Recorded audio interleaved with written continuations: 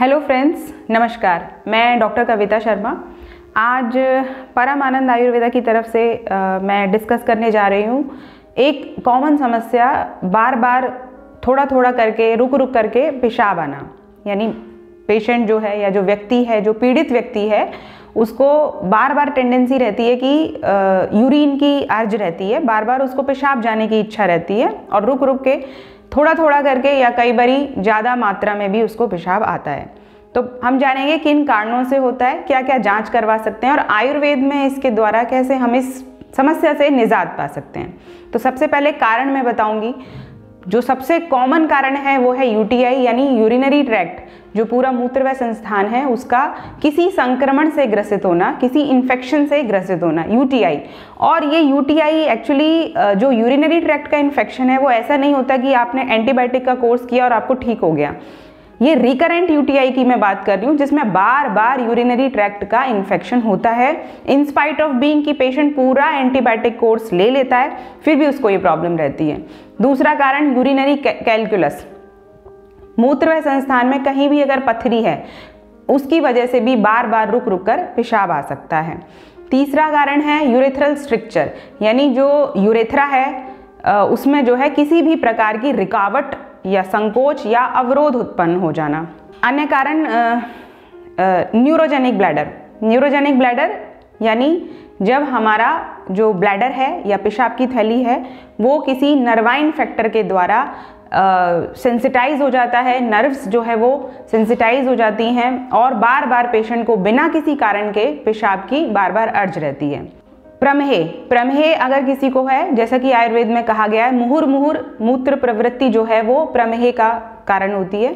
यानी मधुमेह में भी जैसे बार बार पेशेंट को जो है रोगी को बार बार पेशाब आता है पर वो अमाउंट उसका जो अमाउंट है वो अच्छा खासा अमाउंट होता है। ऐसा नहीं कि थोड़ा थोड़ा पेशाब आता है।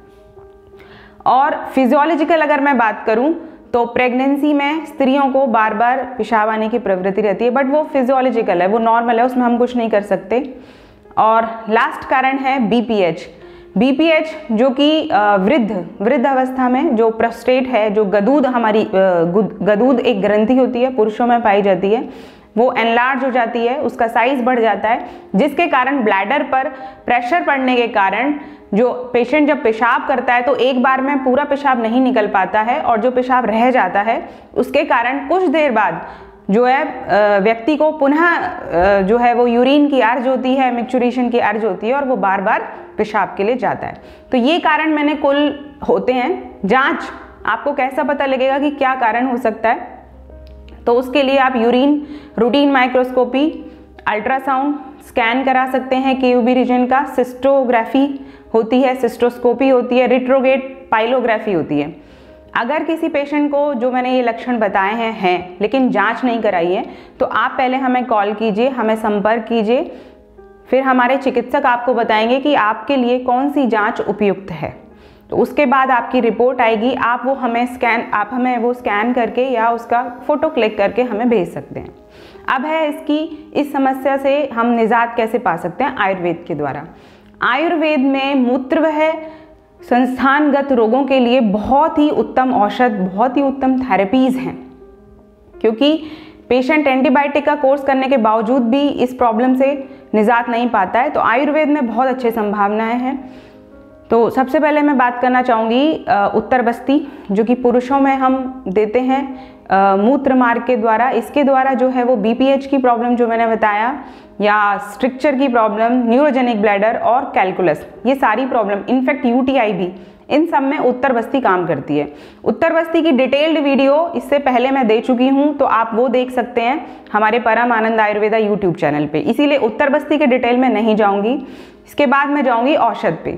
अगर किसी को यूटीआई है तो आयुर्वेद में बहुत अच्छी औषध, जैसे तृण पंचमूल कषाय हो गया, श्वेत परपटी या छार परपटी हो गई, वरुण आदि कषायम हो गया, त्रिवंग भस्म हो गया स्वर्ण माक्षिक हो गया, स्फटिका, टंकण, ये अन्य औषध हैं जो कि यूटीआई में बहुत अच्छा काम करती हैं।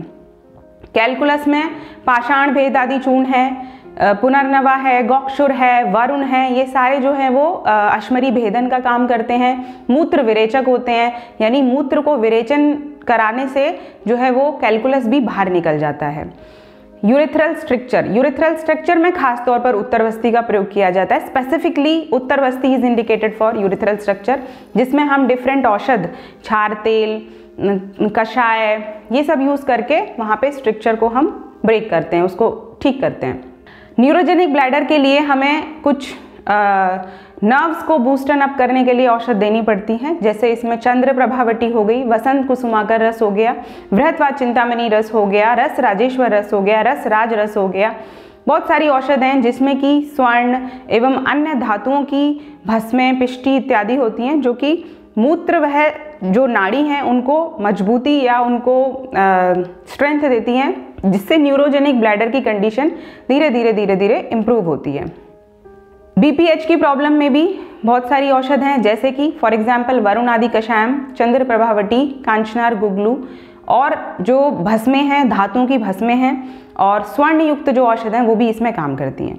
डिपेंड करता है जो मैंने औषध बताई आपको, ये बताने का मकसद ये नहीं कि आप खुद खरीद के खाएँ। ये सारी औषधें अकॉर्डिंग टू दी व्याधि दी जाती है अकॉर्डिंग टू प्रकृति, क्योंकि आयुर्वेद एक पर्सनलाइज्ड साइंस है, यानी व्यक्ति की प्रकृति के अकॉर्डिंग काम करती है। यानी अगर सपोज़ किसी की पथरी पाषाण भेद आदि चूर्ण से निकल रही है तो ज़रूरी नहीं है कि दूसरे व्यक्ति की पथरी भी पाषाण भेद आदि चूर्ण से निकले। जस्ट आपको नाम इसलिए बताया कि यू गेट टू नो कि हाँ आयुर्वेद में भी औषध हैं, आयुर्वेद में भी थेरेपीज हैं, या आयुर्वेद में भी ऐसे उपाय हैं जिसके द्वारा आप अपने मूत्र की जो समस्या है बार बार पेशाब आना, उससे आप निजात पा सकते हैं। किसके लिए कौन सी औषध सूट करेगी? या एक औषध से मैं ठीक हो जाऊँगा? क्योंकि हमारे पास कॉल आते हैं कि मुझे ये फलां बीमारी है, क्या मैं ये औषध सेवन कर लूँ? या डायरेक्टली पेशेंट ऑर्डर करके मंगा लेते हैं। ऐसा नहीं है, क्योंकि एक औषध काम नहीं करेगी।